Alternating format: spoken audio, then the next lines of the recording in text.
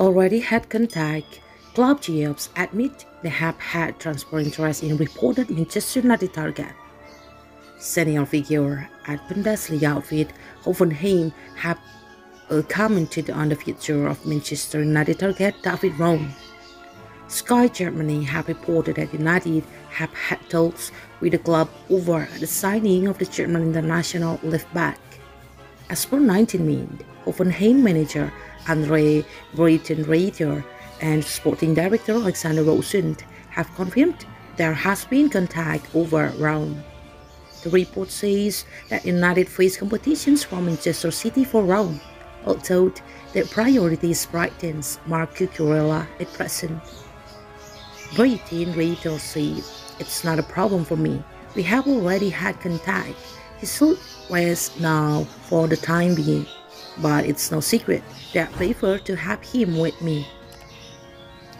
I'm the coach and want to have the best players in my team, but there are also always club interests. For me, that's not a problem.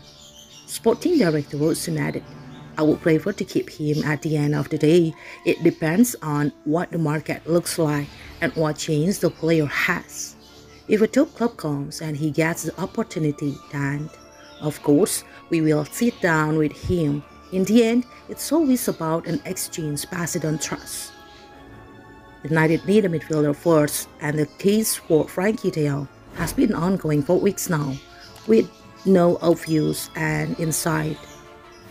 While that is at an impasse, it would be a good idea to get other deals ready to go.